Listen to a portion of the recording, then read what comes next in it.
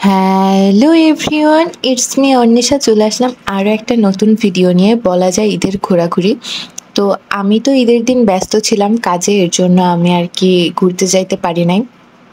আর দ্বিতীয়ত বৃষ্টি ছিল, এর জন্য আরোই বের হওয়া হয় নাই। তো ঈদের তৃতীয় দিন আর কি আমরা বের হই।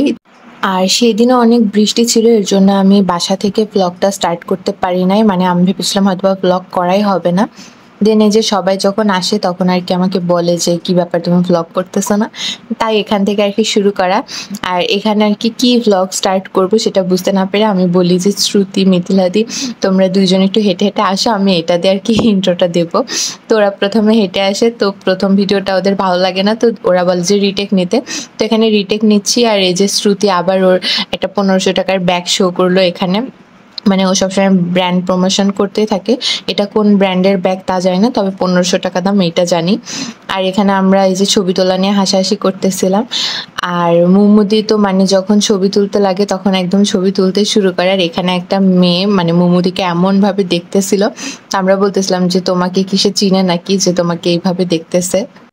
তারপরে খেয়াল করলাম যে মোমোদির গলায় একটা মালা যেখানে লেখা ছিল অ্যাঞ্জেল, তো আমরা এখানে বলতেছিলাম যে মালাটা সোনার নাকি আর ওর নাম যেহেতু মোমো ওখানে অ্যাঞ্জেল পড়ে আছে, তা আমি আবার ওকে খেপাচ্ছিলাম যে আজকে যে ফেসবুক আইডির নাম দিবা যে অ্যাঞ্জেল মোমো প্রিয়া তা আমরা যখন সবাই একসাথে হই, তখন এরকম করে মজা করতেই থাকি সব সময়।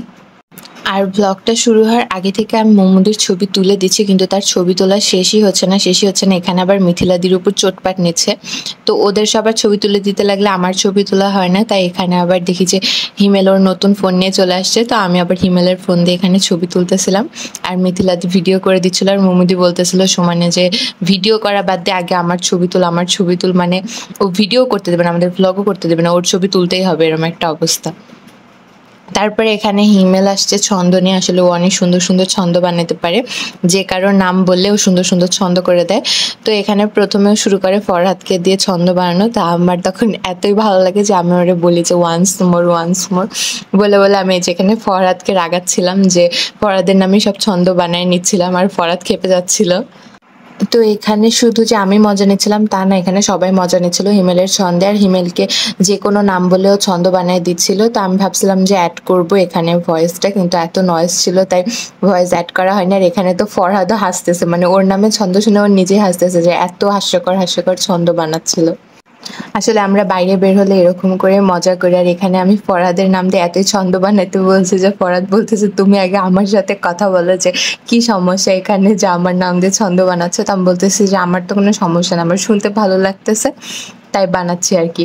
তো এখানে এই যে হিমেলকে আমি আরও ইনসিস্ট করতেছি যে আরও কিছু ছন্দ পড়াদের নামে বানানোর জন্য। তো আর কি ভাবতেছে, কারণ অনেকগুলো ছন্দ বানাই ফেলছে। আপনাদেরও যদি মন চাই আপনাদের নাম দিয়ে ছন্দ বানানোর, তো হিমেলের সাথে কন্ট্যাক্ট করতে পারেন। ফ্রি ফ্রি বানাই দিবে ছন্দ। তারপরে বহু যুগ পরে এই যে বিশাল মামার সাথে দেখা হয়, তো আমি এখানে বিশাল মামাকে বলি যে আমাকে সালামি দিতে। কিন্তু বিশাল মামা কোনো দিনই আমাকে সালামি দেয় না। না প্রণামী দিছে, না সালামি দিছে। এখানে আমি বললাম, সালামি দিতে। বলতেছে যে, না, এবার দুর্গাপূজায় নাকি দিবে। তা আমি হচ্ছে এখানে মানে এই যে ইনসিস্ট করতেছিলাম যে, আমার যাতে সালামি দেয়, কিন্তু এই যে পালাই চলে গেল। তো দেখা যাক দুর্গাপূজায় দেয় নাকি, ছেড়ে দিলাম এবারের মতো। তো যখন বিশাল মামার কাছে পাত্তা পেলাম না, তখন আমি আবার ফরাদের কাছে আসলাম। সালামি চাইতার, এই যে ফরাদ বলতেছে যে ও চার দিন ধরে কিছু খায় নাই, কথা টথা বলতে পারে না, তো এর জন্য ওনাকে সালামি দিতে পারবে না। তো ওইটার আর একটা ভিডিও আছে, কিন্তু ওই ভিডিওটা আসলে এখানে অ্যাড করতে পারলাম না। আমি এর আগেই ফেসবুকে দিয়ে দিছি পেজে দেন আমরা আর কি ঠিক করতেছিলাম যে এখান থেকে কই যাওয়া যায়, কারণ এত ভিড় ছিল স্টেডিয়ামে, তো আমরা ভাবলাম একটু অন্য কোথাও যাওয়া যায় আর এখানে আমি সমানে হিমেলকে আবার বলতেছি যে ফরাদের নাম দিয়ে ছন্দ বানায় তার ফরাদ বলতেছে যে ছন্দ বানালে ওর খবর আছে। তো এর জন্য আর কি ঘুরতেছে আর আমি ওরা বলেই যাচ্ছি যে ফরাদের নামে ছন্দ বানাইতে তারপরে এই যে মোমোদি এখানে বলতেছে, চলো ডিসি পার্কে যাই। তারপরে এখানে আবার শ্রুতি ছবি তুলতে লাগে, ছবি তুলতে লাগে, শ্রুতির সাথে একটা বাজে ইনসিডেন্ট ঘটে যায়। তা আমি ওরে বলতেছিলাম যে, ওর কেমন লাগছে যে ইনসিডেন্টটার পর? তো ও বলতেছে যে, ও আর কথা বলতে পারতেছে না।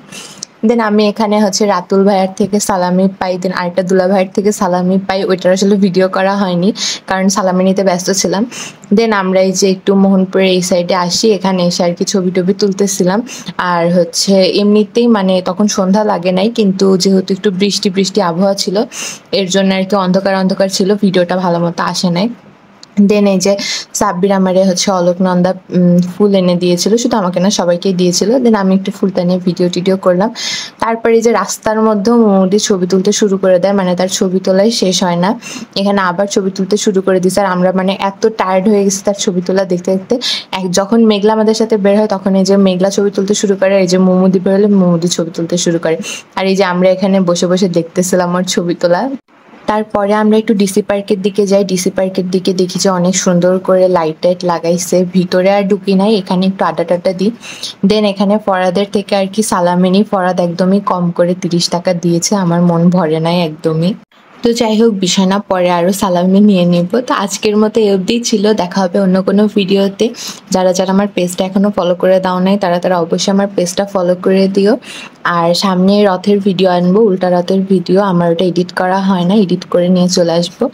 তো আজকের মতো সবাই ভালো থেকো। টাটা। Thanks for watching